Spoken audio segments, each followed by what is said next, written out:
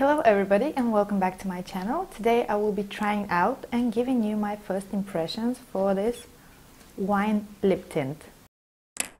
The brand is Chateau Labiotte, but despite sounding French, it is a Korean brand. This is the packaging that it comes in. And after watching review and swatches online, I decided that I like the color RD03 Merlot Burgundy the best. And this is the super cute miniature wine bottle. On the packaging there is some text in Korean, but in English it says the long-wearing tint dyes the lips with a bold yet delicate color that resembles quality wine while moisturizing the lips. I don't have time for constantly reapplying my lip color with precision, so I've been searching quality lip tint that is low maintenance and requires a few touch-ups during the day. So I have high hopes for this. The cup is purple, but this is how it looks in the bottle, a deep wine color. But now let me apply it and see how it looks on my lips. I've already prepped them by applying my favorite lip balm overnight. There is absolutely no peeling, chapping or dry patches, which should be a perfect canvas for the lip tint. I've zoomed you in and now let's get down to business.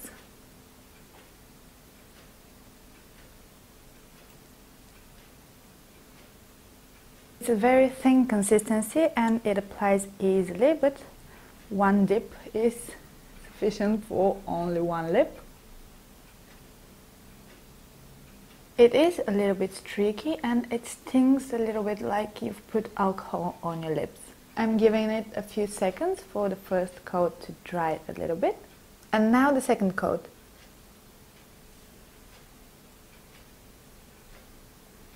This is how it looks like with two coats and for some reason my bottom lip is maybe two tones darker than my upper one. It has a pleasant smell, but it doesn't remind me of wine. The taste is sweet, but a bit chemically sweet, like an artificial sweetener. The initial sensation is a little bit drying on the lips, but it goes away after a few minutes. The color looks like deep berry or plum color and is a little bit vampy for my complexion. But now I'm taking you with me for the whole day wear test. This is how it looks like in natural lighting you can see the difference in color but I will apply a third coat of lip tint on my upper lip and this is 3 to 2 coats. This is an hour and a soup later. Another half an hour and a pair later and the intensity of the tint has almost faded away but my lips feel dried out. Let me try to fix that with a bit of lip balm. Okay, now my lips feel and look much better. That's the six hour checkup. I'm calling it a day and I will give it a second chance tomorrow. It is day two of the testing. I've exfoliated my lips with a sugary lip scrub, then applied a coat of the lip tint, waited for about 20 seconds, and then I applied a coat of lip balm.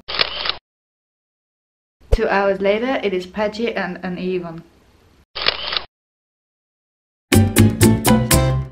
My final thoughts about it. It has gorgeous packaging. It is not crazy expensive. The color looks quite different on the packaging, on the bottle cap, inside the bottle and on the lips. It applies easily, has a sweet kind of chemically taste. On my lips it looks significantly better applied on one thick coat with a lip balm over it compared to two thin coats. Again on my lips it doesn't have that good of a staying power and I should definitely retouch it after eating. First initial stage of applying it to the stage I have nothing on my lips or almost nothing.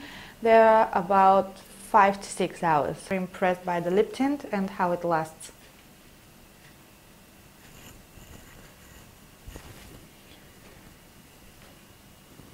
The girls were very impressed by the lip tint and how it lasts. And now let me take it off on camera. I will be using some micellar water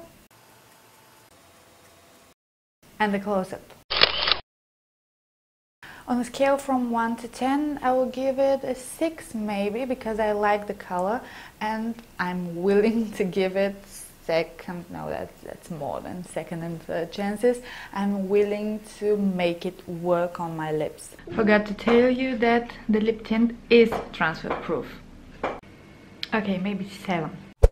Thank you for watching this video. I hope you found it helpful. I would be grateful if you shared your tips and suggestions on how to make this lip tint look better and last longer and for other lip tints that you believe are worth trying. Thank you once again for watching this video. Please give it a thumbs up if you liked it. And I will see you in my next video. Till then, stay happy and healthy. Bye.